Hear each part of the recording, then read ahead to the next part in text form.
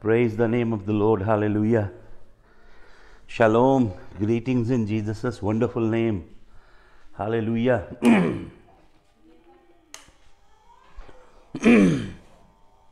hmm. Hallelujah. धन्यवाद thank you Jesus hallelujah thank you Jesus lord we bless your name Jesus, we praise your name. Lord, we praise your holy name. Hallelujah. Thank you, Jesus. Thank you, Jesus.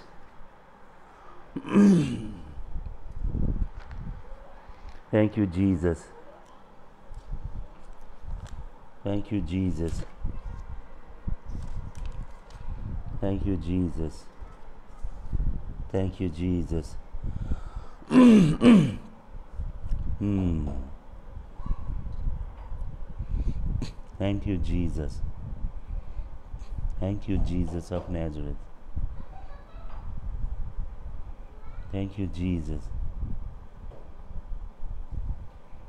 Thank you, Lord. Hallelujah. Thank you, Jesus of Nazareth. Hmm. Lord Jesus, we bless your name, we praise your name. Lord, we come before your throne of grace and mercy, Lord, through the blood. Lord, thank you for the new and the living way which is created by the blood. Lord, we walk on that path. यीशु मसीह नया और जिंदा रास्ता प्रभु यीशु मसीह, तेरा मार्ग नया और ज़िंदा मार्ग है, जो तेरे लहू से तैयार किया गया खुदावन। उस मार्ग पे प्रभु जी हम चलते। तेरे हजूर में पहुँचते हैं खुदावंद हालेलुया। तेरा धन्यवाद हो। यीशु मसीह, तेरा धन्यवाद हो। तेरे लहू की जय जयकार करते हैं। हम्म। हालेलुया तेरा धन्यवाद धन्यवाद धन्यवाद हो धन्यवाद धन्यवाद धन्यवाद हम्म thank you Jesus thank you Jesus. Thank you, Jesus. Thank you, Jesus. hmm. Thank you, Jesus. Thank you, Jesus. Thank you, Jesus. Thank you, Jesus. Thank you, Jesus. Thank you, Jesus. Thank you, Jesus. Hmm, hallelujah. Hallelujah धन्यवाद hallelujah Hallelujah. धन्यवाद hallelujah hmm, hmm. प्रभु आपका धन्यवाद हो प्रभु, आपकी स्तुति करते हैं, स्तुति करते हैं।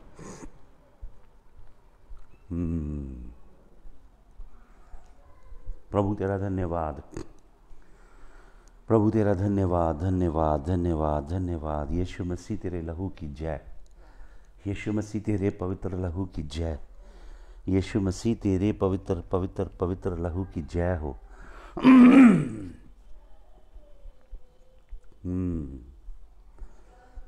यीशु मसीह, आपके पवित्र लहू की जय हो, पवित्र लहू की जय हो। पवित्र लहू की जय हो।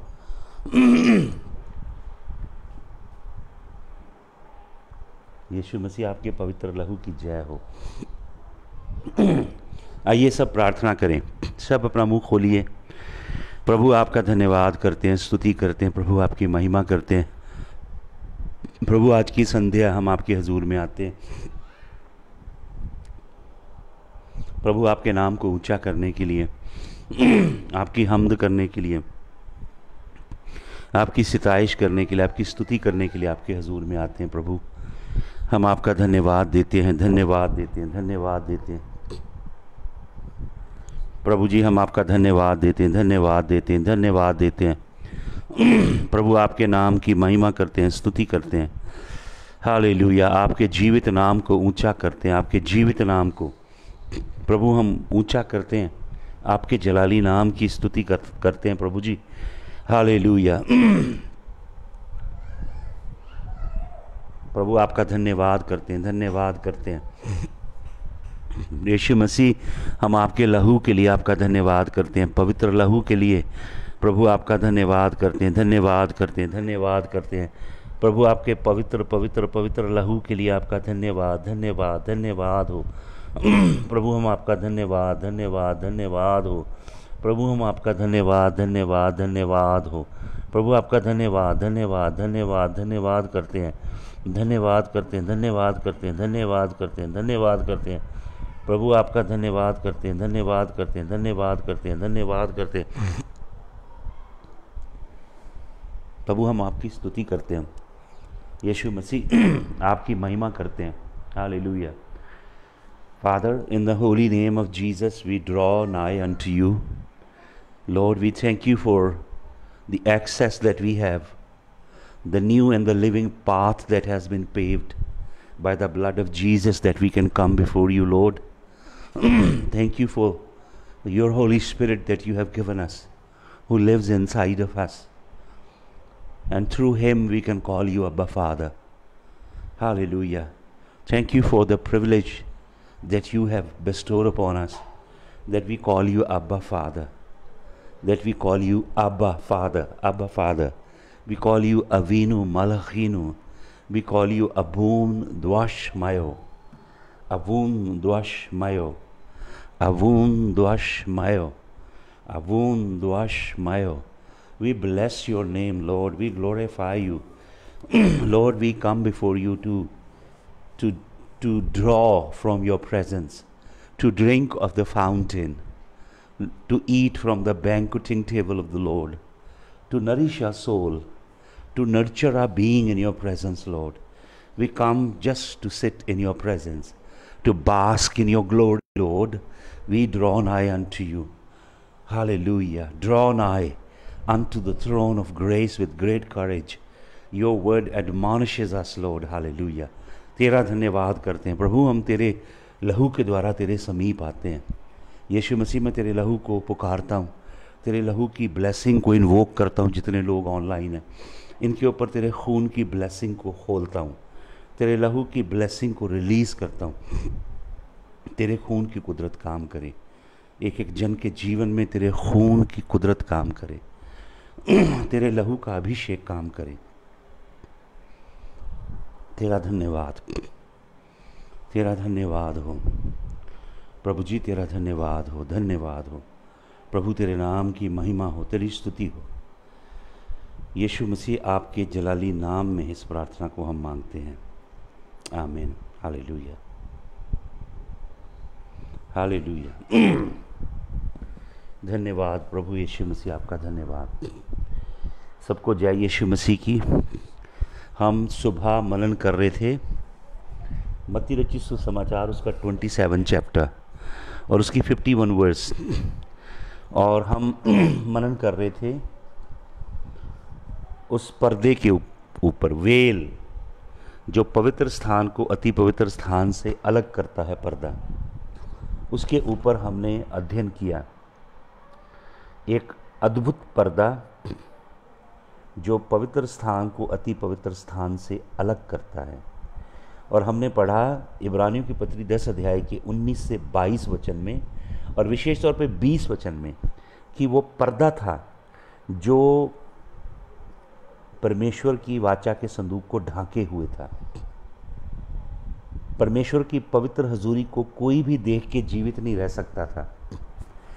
इसलिए अति पवित्र स्थान में जो अहद का संदूक था, आर्क ऑफ़ द कवनेंट, वाचा का संदूक, मैंने आपको बताया वो वाचा का संदूक को वो पर्दा ढांक के रखे हुए था। और हम इब्रानियों की पत्री में सुबह हमने पढ़ा कि वो जो पर्दा था, इब्रानियों की पत्री दस अध्याय के बीस वचन में लिखा है वो पर्दा जो परमेश्वर के अहद के संदूक को छिपा के रखे हुए था, वो पर्दा प्रभु यीशु मसीह की देह थी। हाल यीशु मसीह की जलाली देह में परमेश्वर छिपा हुआ था। सेनाओं का यहोवा, संपूर्ण रीति से यीशु मसीह की देह में छिपा हुआ था। यीशु मसीह की जलाली देह के पर्दे ने, वो जलाली देह जो आदम के पापी डीएनए से नहीं बनी, बल्कि यहोवा की रोशनी से मरियम की कोख में तैयार की गई। उस जलाली देह के अंदर अहद का संदूक था। आपको मालूम, जब 586 बीसी में नबूक नसर आया और हैकल को लूट के ले गया, अहद का संदूक उससे पहले ही गायब था। आर्क ऑफ़ द कवरेंट को माल, का किसी को मालूम नहीं, जो दूसरी टेंपल बनाई गई, जिसे एजरा ने, नहमाया ने ज़रूबा बिल ऐसे प्रभु के दासों ने मिल के जो यहोवा के लिए पोस्ट एक्जिलिक असीरी के बाद आके जो भवन बनाया, उस भवन के अंदर अहद का संदूक नहीं था। लेकिन हजई नबी फिर भी भविष्यवाणी करता है। हजई नबी की पुस्तक दो अध्याय में एक्सक्यूज मी मैंने आपको बताया कि जब उस भवन को तैयार करके यहोवा को अर्पण किया जा रहा था तो वहाँ पे कुछ बुज़ुर्ग लोग थे, जिनकी आयु सत्तर साल से ज़्यादा थी, जिन्होंने सुलेमान की हैकल को देखा था। वो महिमा से भरी हैकल थी।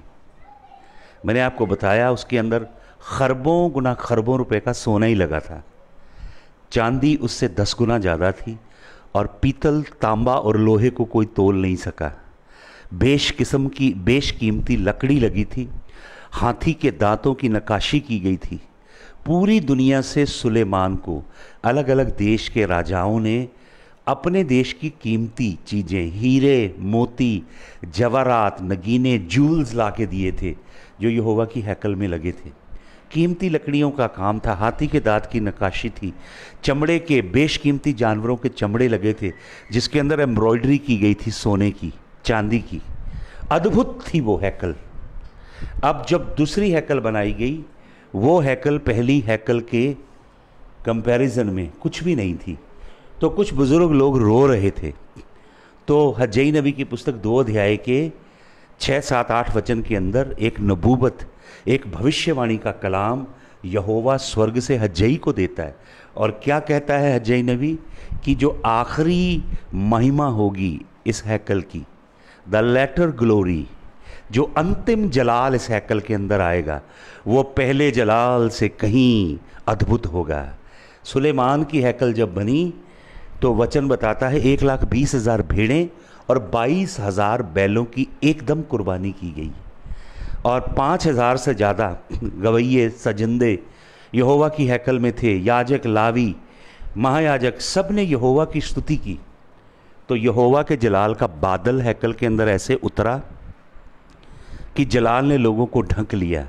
किसी को कुछ भी दिखाई नहीं पड़ा, सब गिर गए मुँह के बल।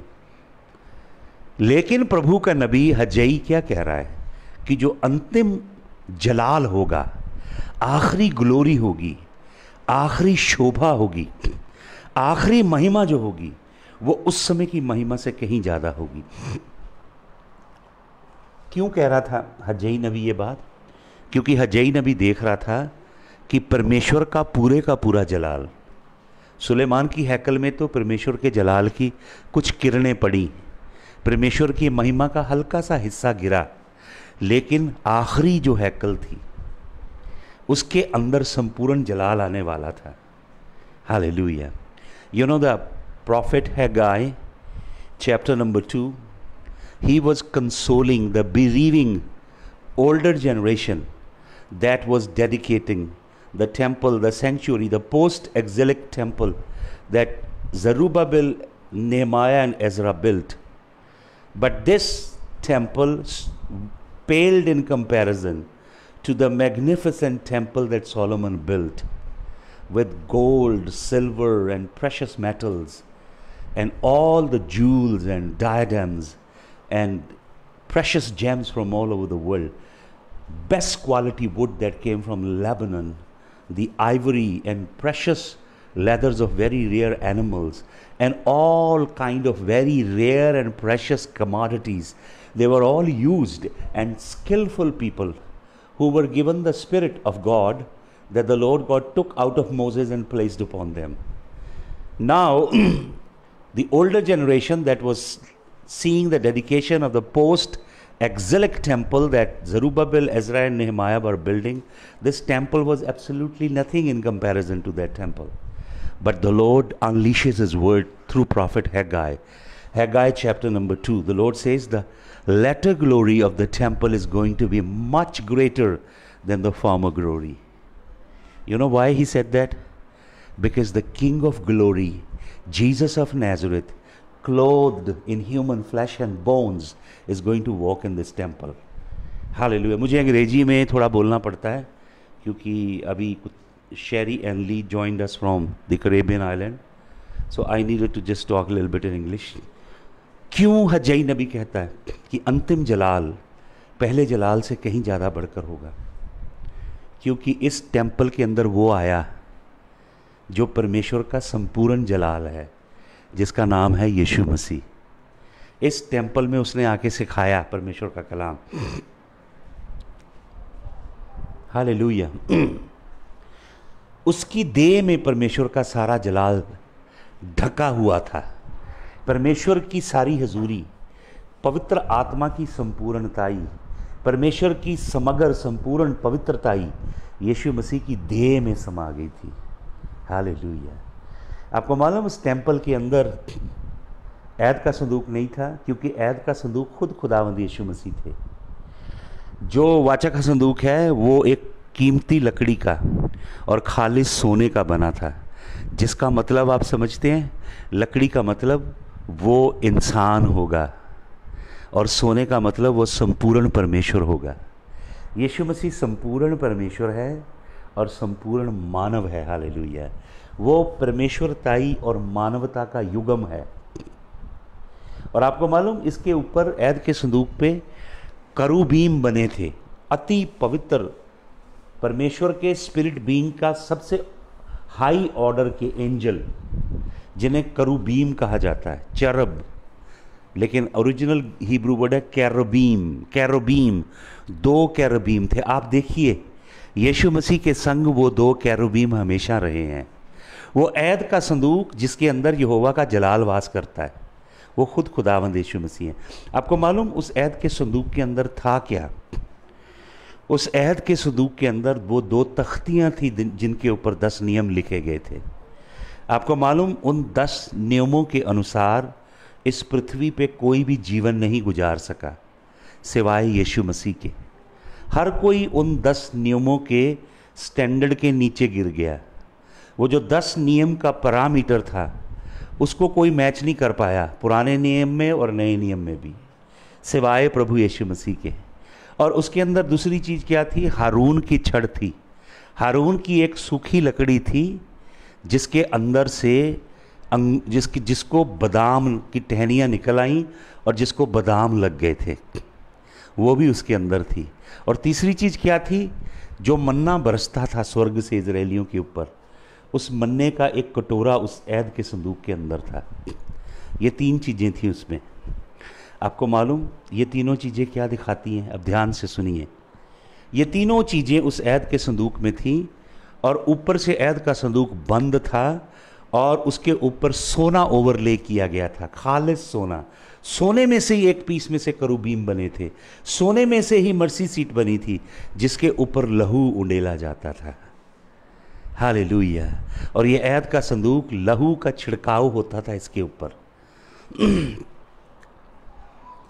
जो ये व्यवस्था की दो तख्तियाँ हैं इन्हें मूसा ने तोड़ दिया क्योंकि इसराइली मूर्ति पूजा कर रहे थे और जनाकारी कर रहे थे।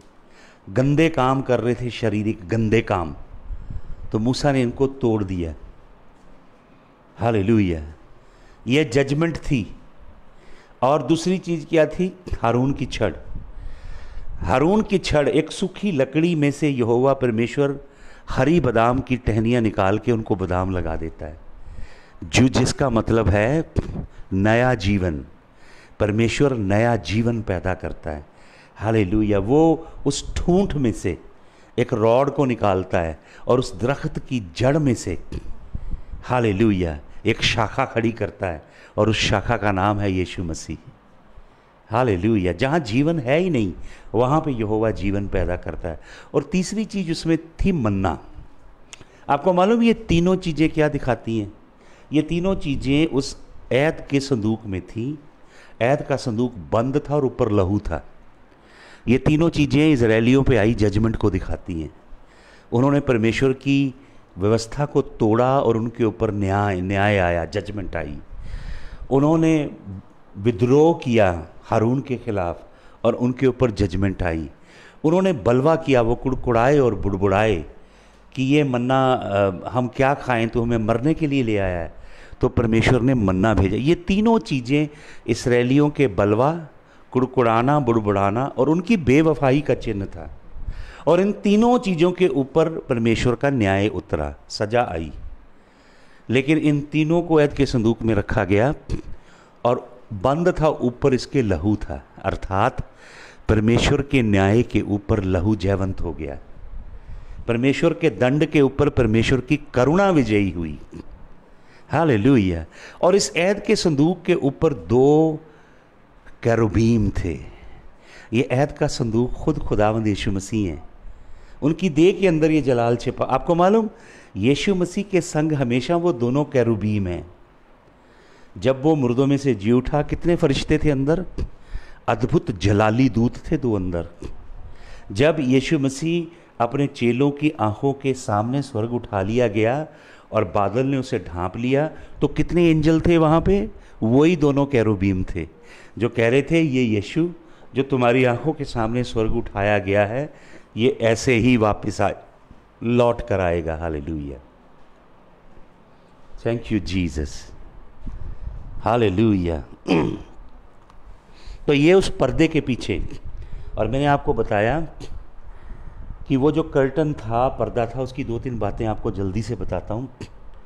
सबसे पहले आप पढ़ें मेरे साथ एक्सडस 26 कूच की किताब जिसे हम निर्गमन की पुस्तक बोलते हैं एक्सडस चैप्टर नंबर 26 और उसका 31 वर्स से पढ़ता हूँ। सुनिए प्रभु क्या कहता है। And thou shalt make a veil of blue and purple and scarlet, and fine, fine twined linen, cunning work with cherubims shall it be made. Hallelujah. उसके ऊपर कैरबीमों की तस्वीर भी बननी है और ये अलग अलग ढंग से बनाई जाएगी लिलन की लेदर्स की लेकिन कलर क्या बताया जो डाई किया जाएगा वो ब्लू है पर्पल है और स्कारलेट है ब्लू कलर स्काईज का है जो हेवन को दिखाता है हालेलुया पर्पल जो रंग है, वो राजा की पोशाक होती है। यीशु मसीह को पर्पल रंग की पोशाक पहना के रोमी सिपाही यीशु मसीह का मज़ाक उड़ा रहे थे। हालेलुया। और जो लाल, स्कारलेट रंग है, वो लहू का रंग है यीशु मसीह की कुर्बानी का। अर्थात यीशु मसीह स्वर्ग का राजा है। यीशु मसीह यीशु मसीह परमेश्वर है ब्लू, और यीशु मसीह राजा है स्वर्ग का, और यीशु मसीह क्रूस पे हमारे लिए बलिदान होगा। ये तीनों रंग हैं। ये पढ़ लीजिएगा पैंतीस तक आपको। इसके अंदर पूरी डिटेल दी गई है इसकी। और मैं एक वचन और देता हूँ आपको, वो भी आप पढ़िए। दूसरा इतिहास तीन अध्याय, और उसका चौदह वचन। Second Chronicles chapter number three and verse number fourteen and he made veil of blue purple crimson and fine linen and wrought cherubims there upon ये दो करूब भी हैं उसके ऊपर। ये जो कर्टन है, वेल है, ये यीशु मसीह की बॉडी है। ये दोनों कैरबिम हमेशा यीशु मसीह के साथ हैं। आप जहाँ भी देखें, आपको यीशु मसीह के संग दिखाई देंगे। यीशु मसीह की देह के अंदर ही ऐद का संदूक था।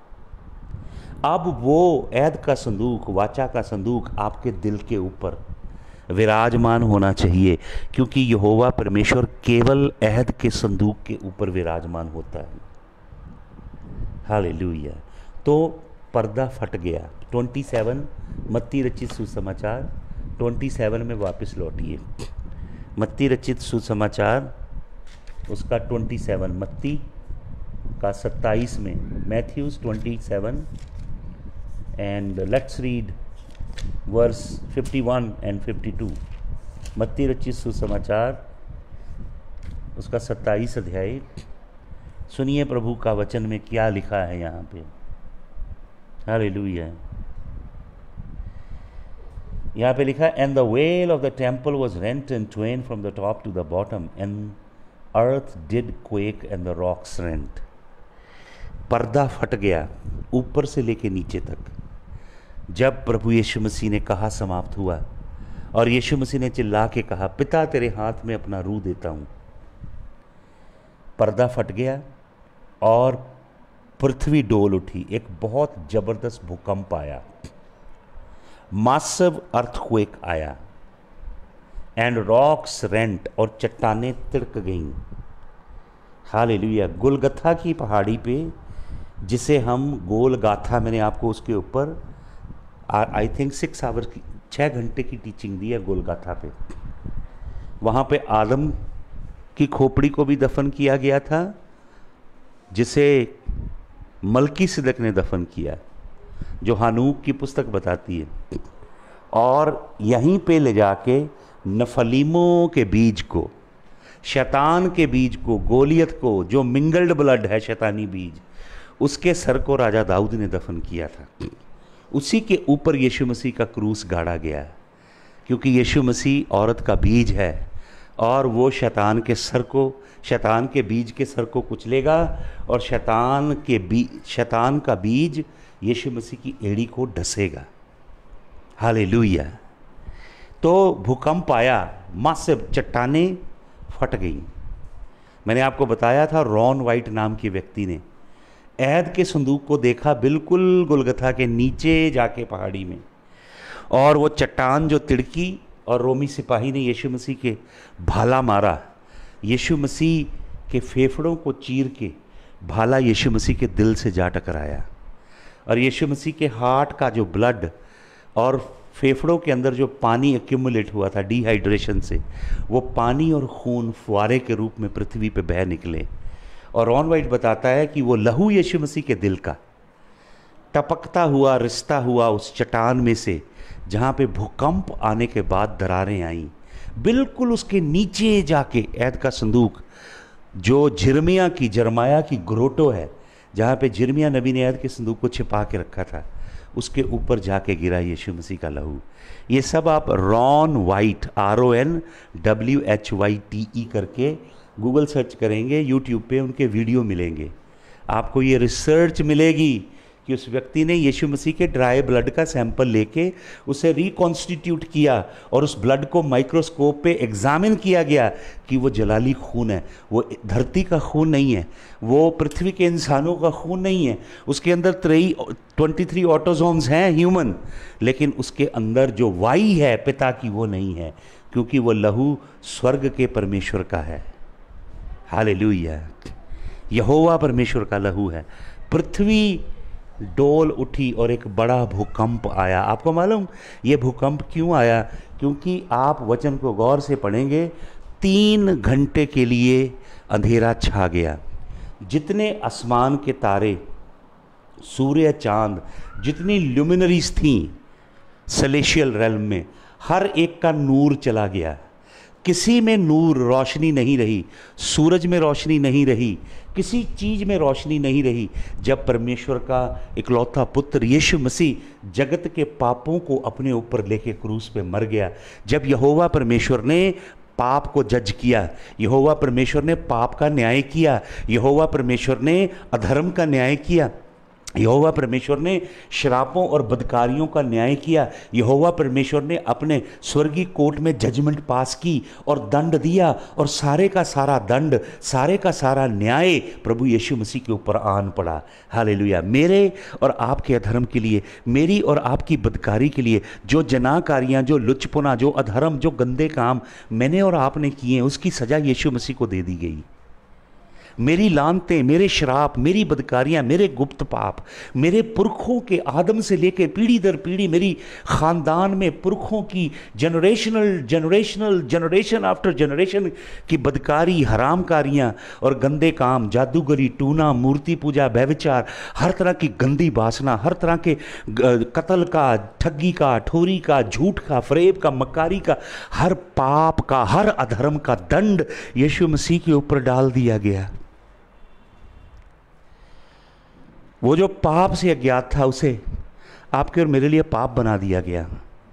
परमेश्वर ने सारा अधर्म, सारी बदकारी पूरी दुनिया की, जितनी जनरेशन पैदा हुई, जितनी अभी जीवित हैं, जितनी अभी पैदा होंगी, सबका अधर्म, सबका पाप, सबकी बदकारी, सबकी हरामकारी, सबकी जादूगरी, सबका टूना, सबका लुचपुना सबकी चोरी, फरेबी, मक्कारी, कत्ल, हर तरह की गंदगी। सब यीशु मसीह के ऊपर डाल दी। उसको दंड दे दिया गया आपका और मेरा। आपकी औलाद की औलाद जो अभी पैदा भी नहीं ना हुई, उसके पाप भी। आपकी औलाद की आगे जो औलादें पैदा होंगी, उनकी जो आगे औलादें पैदा होंगी, उनकी जो आगे औलादें पैदा होंगी, उनकी बदकारियाँ और पापों का बोझ भी, लानत भी, सजा, दंड। यीशु मसीह ने दंड भी लिया है और और उसका उसका दंड भी लिया है। पनिशमेंट भी ली है और जजमेंट भी ली है, दोनों चीज़ें ली अपने ऊपर। तो क्या हुआ भाई और बहनों? किसी आकाश की तक, ताकत के अंदर रोशनी नहीं रही। आपको मालूम वचन ध्यान से पढ़िए।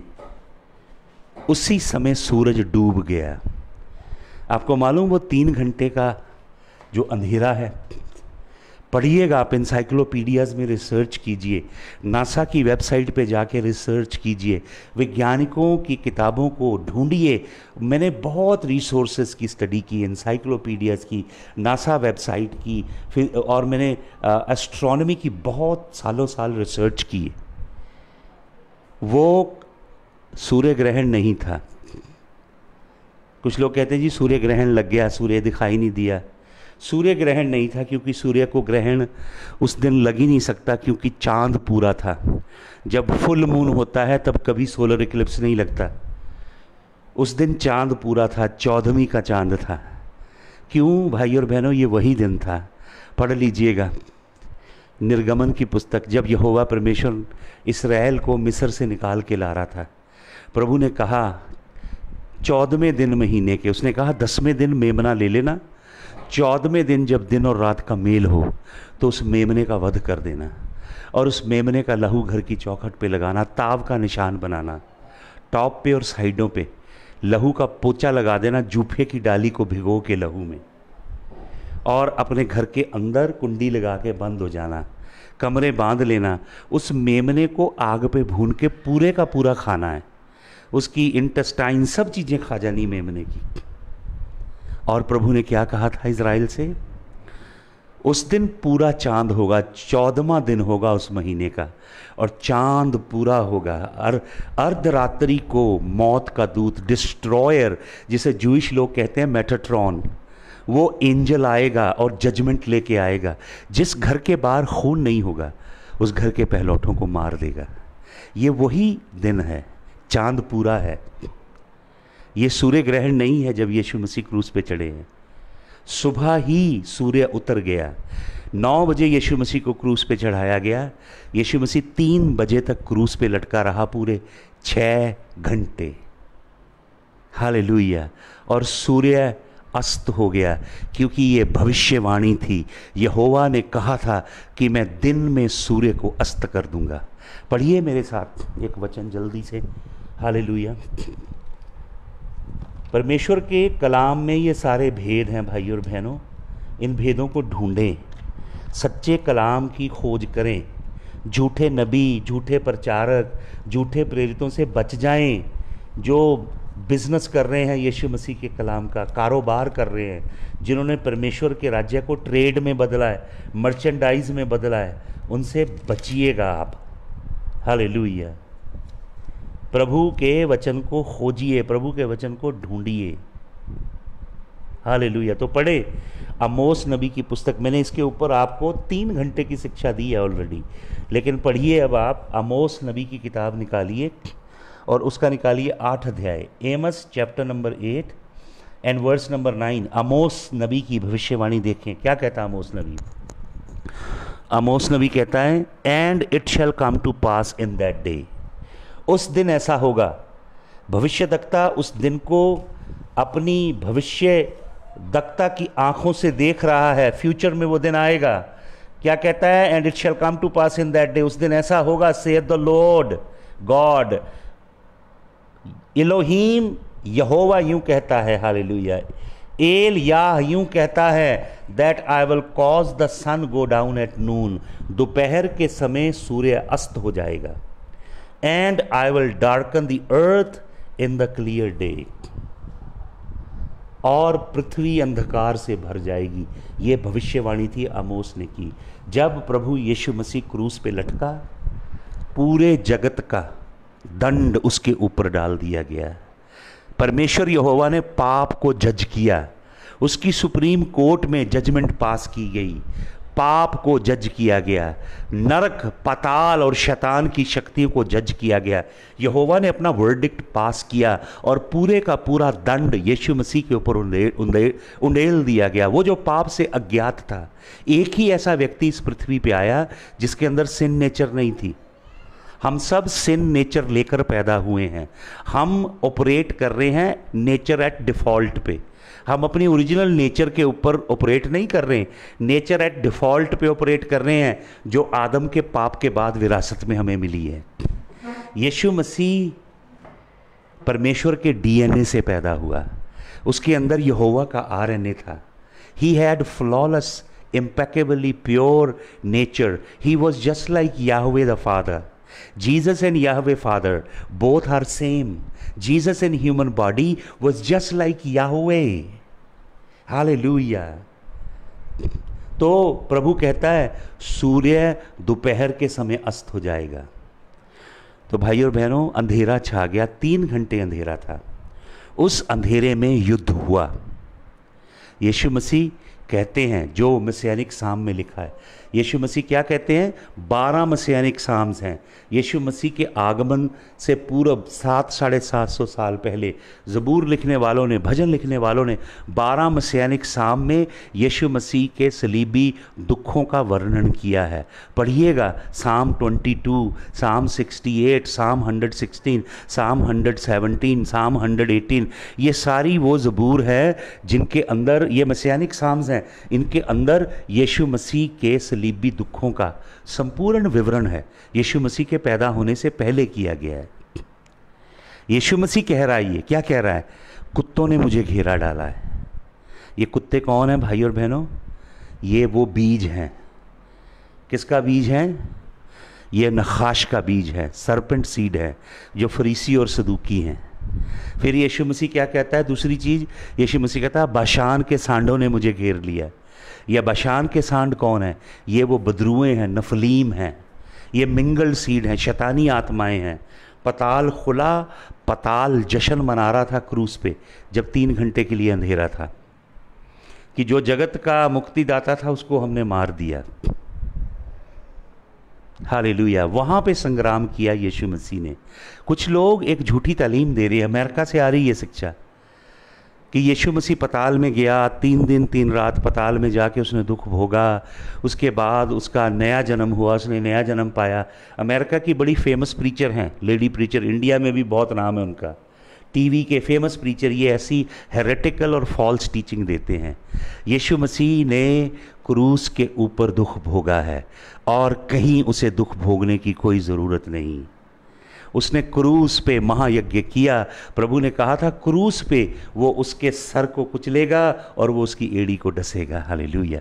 क्रूस पे यीशु मसीह विजयी हो गया। उसे अब कोई और विजय लेने की ज़रूरत नहीं पताल में। उसने हरा दिया, शिकस्त दे दी मौत को। हालेलुया। पाप को, शैतान को। उसने उसको खुल्लम खुल्ला तमाशा बना दिया बस। इब्राहिम की बुज़म में वो गया। इब्राहिम की गोद में वहाँ से धर्मी रूहों को आज़ाद किया उसने। वो पताल में नीचे नहीं गया दुख भोगने के लिए। ये टीचिंग गलत है।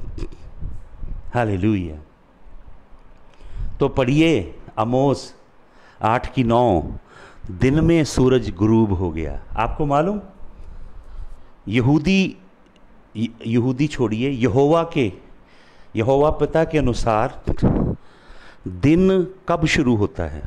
जब सूर्य अस्त हो जाए। जब सूर्य अस्त होता है डूब जाता है सूर्य तो दिन शुरू होता है। उत्पत्ति की पुस्तक पहला अध्याय पढ़ लीजिएगा। दुनिया का दिन शुरू होता आधी रात को। यहोवा का दिन ऐसे शुरू नहीं होता। जब सूर्य डूबता है तो दिन शुरू हो जाता है। यहोवा का दिन शुरू होता है अंधेरे से, लेकिन दिन का अंत होता है रोशनी में। दुनिया के दिन का शुरुआत जो होती है, वो रोशनी में होती है और अंत होता है अंधेरे में। हाल लेकिन यहोवा का दिन शुरू होता है अंधेरे में और उसका अंत होता है रोशनी में। तो सूर्य अस्त से अगले सूर्य अस्त तक एक दिन गिना जाता है। यदि यीशु मसीह फ्राइडे क्रूज़ पे चढ़ाए गए तो आप मुझे बताइए तीन दिन, तीन रात कैसे पूरे होते हैं? यीशु मसीह ने कहा था यहूदियों के लिए, उन्हें कोई और चिन्ह नहीं दिया जाएगा सिवाय योना नबी के चिन्ह के। कि जैसे योना नबी पृथ्वी के बेल के मछली के पेट में तीन दिन, तीन रात रहा। वैसे ही मनुष्य का पुत्र पृथ्वी के पेट में तीन दिन, तीन रात रहेगा। तो तीन दिन, तीन रात कैसे पूरे होते हैं? ऐसे होते हैं। अमोस की पुस्तक आठ अध्याय का नौ वचन पढ़िएगा। सूर्य एक दिन में दो बार अस्त होता है, वो दो दिन हो जाते हैं। जब सूर्य अस्त होता है और चढ़ता है, एक दिन काउंट होता है। फिर सूर्य अस्त होता, चढ़ता, दूसरा दिन काउंट होता है। ऐसे तीन दिन और तीन रात पूरे होते हैं। पढ़ लीजिए नबूवत। ये अमोस नबी ने की नबूवत यीशु मसीह के लिए। हाल पृथ्वी डोल गई, भूकंप आया, मासिव भूकंप आया। और चट्टाने क्या हुई? तिड़क गई।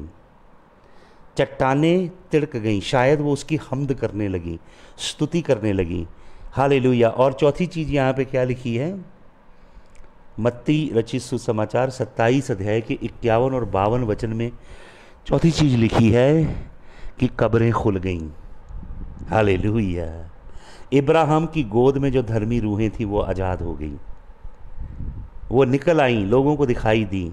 लेकिन मुकम्मल उनकी रेजरक्शन कब हुई? जब यीशु मसीह तीसरे दिन मुर्दों में से जी उठा। Hallelujah hallelujah thank you Jesus यीशु मसीह तेरा धन्यवाद। हर ये अद्भुत बातें हैं यहोवा के कलाम के अंदर छिपी हुई। इन्हें आप ढूंढिए, कलाम के अंदर घुसिए।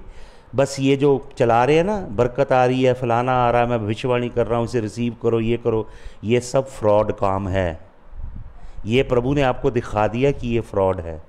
इन नबियों ने फ्रॉड नबूबतें की कि मार्च में कोरोना ख़त्म हो जाएगा, कोरोना को जूते मारेंगे, कोरोना ये होगा, वो कोई नबूबत सच नहीं हुई, ये झूठे नबी थे, इन्होंने ठगा और झूठ बोला, इसके संग जुड़े सच्चे कलाम के साथ।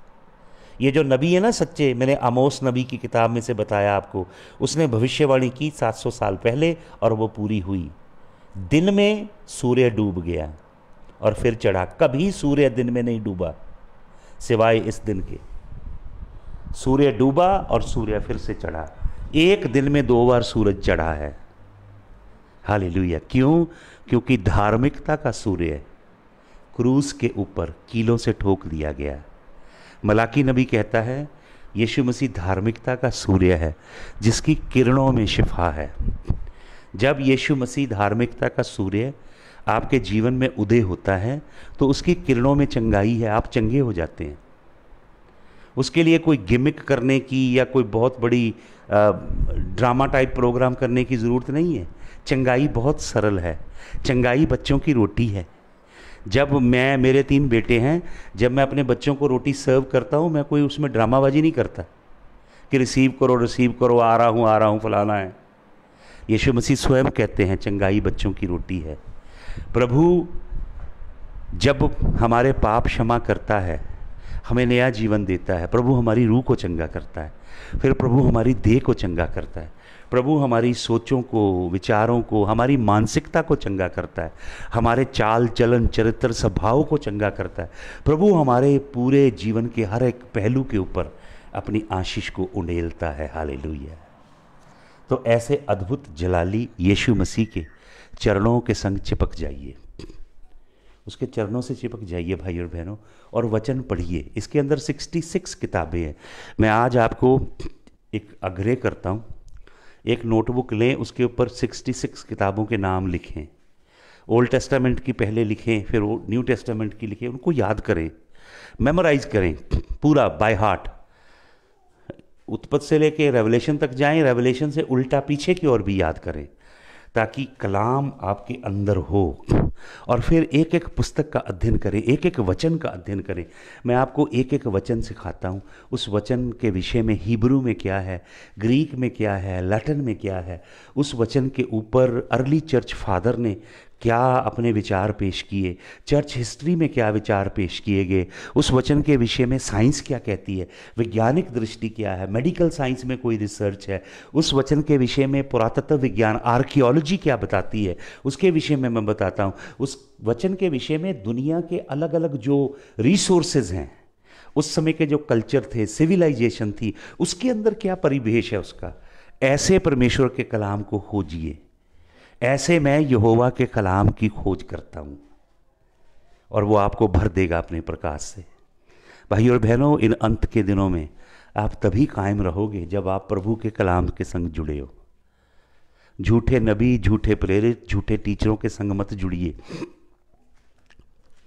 जो मिनिस्ट्री को ग्लैमराइज करते हैं, और फिर उसकी, उसका बिज़नेस बनाते हैं ग्लैमराइज करके, बचिए उनसे। यीशु मसीह की सेवा देखिए कितनी साधारण थी। मैं अभी कई लोगों को देखता हूँ, अपने घर के अंदर बैठे होते हैं, फिर भी उन्होंने साउंड सिस्टम और माइक्रोफोन लगाया होता है। चार लोग नहीं होते अभी। फिर भी उनको माइक्रोफोन और पूरा ताम झाम बना के एक एटमोसफियर क्रिएट करने की ज़रूरत पड़ती है। यीशु मसीह ने कौन सा एटमोसफियर बनाया भाई? वो तो हज़ारों की भीड़ को चिल्ला चिल्ला के प्रचार करता था। आपको मालूम, एक बार वो समुंदर के किनारे था गलील की झील के और बड़ी भीड़ आ गई तो उसने पत्रस से नाव उधारी मांगी। वो नाव के बीच में बैठा और झील के बीच में से ज़ोर ज़ोर से प्रचार कर रहा था। झील के किनारे बहुत बड़ी भीड़ थी। जरा सोचें, समुंदर की अपनी आवाज़ होती है। यीशु मसीह को कितना चिल्ला के प्रचार करना पड़ रहा था। यीशु मसीह सरल, साधारण ढंग से प्रभु का काम करता है। आज लोग बहुत ग्लैमराइज करते हैं। बड़ी बड़ी स्टेजें और फॉग लाइट, स्मोक छोड़ते हैं, डिस्को लाइट लगी होती हैं बड़े बड़े मासिव बैनर बड़ा दिखावा टाइप करते हैं। और होता कुछ भी नहीं है पास में। कुछ देने के लिए कोई ख़ास चीज़ नहीं होती। लेकिन उसको ग्लैमराइज बहुत किया होता है। तो सरल ढंग से, सादे ढंग से करें प्रभु का काम। भाई और बहनों, असली बात है अभिषेक में। असली बात है यीशु मसीह की हजूरी में। असली बात है यीशु मसीह के कलाम की कुदरत में। असली बात है जब फरिश्ते आके डेरा लगाएँगे। असली बात है जब रूह खुदा का आके मंडलाएगा। असली बात है जब जलाल उतर आएगा। उसमें मज़ा है। ये बाकी बनावटी कामों में कुछ नहीं रखा। सिंपल करें यहोवा के कामों को। जितना कॉम्प्लिकेट आप कर रहे हो ना, दिखावे के लिए, इसे छोड़ दीजिए। हाल प्रभु यीशु मसीह के वचन को ढूंढें, साधारण सिंपल ढंग से घुटने टेकें, उसकी परस्तिश करना शुरू करें। वो आपको आशीषित करेगा। बनावटीपन से, दिखावे से, मेकअप से बचें। प्रभु आप सबको बहुत आशीष दे, सबको जय यीशु मसीह की। मैंने सुबह भी आपसे कहा था, अगर किसी के हृदय में आता है कोई बीज बोना तो कोई रिस्पॉन्ड नहीं करता है। खैर, कोई बात नहीं, अगर आपको नहीं प्रभु कहता, मत रिस्पॉन्ड करें। तो अगर करना चाहते हो तो कर दीजिएगा, कोई कंपल्शन नहीं है। और कोई आपको मैं चतुराई से आयतें भी नहीं बताऊँगा कि वो तो ये मिलेगा, वो आयत को तोड़ मरोड़ के ये काम नहीं करूँगा मैं। प्रभु आपके हृदय में काम करे you so God will bless you हाले प्रभु आप सबको बहुत आशीष दे, कल सुबह फिर मिलेंगे। कल सुबह हम प्रेयर सेशन करेंगे। वचन केवल पढ़ेंगे और प्रार्थना करेंगे। और मैं चाहूँगा कल अपनी अपनी प्रार्थना बिनतियाँ आप मुझे उसी समय देते जाइए। हम सब लोग बैठ के प्रेयर करेंगे और मैं आप में से सब लोगों को एक दूसरे के लिए प्रार्थना करने के लिए भी टाइम दूँगा। कल हम नाइन ओ क्लॉक एग्जैक्ट मिलेंगे and we will spend time in prayer. Intercession करेंगे। प्रभु आप सबको बहुत आशीष दे। सबको जय मसीह की।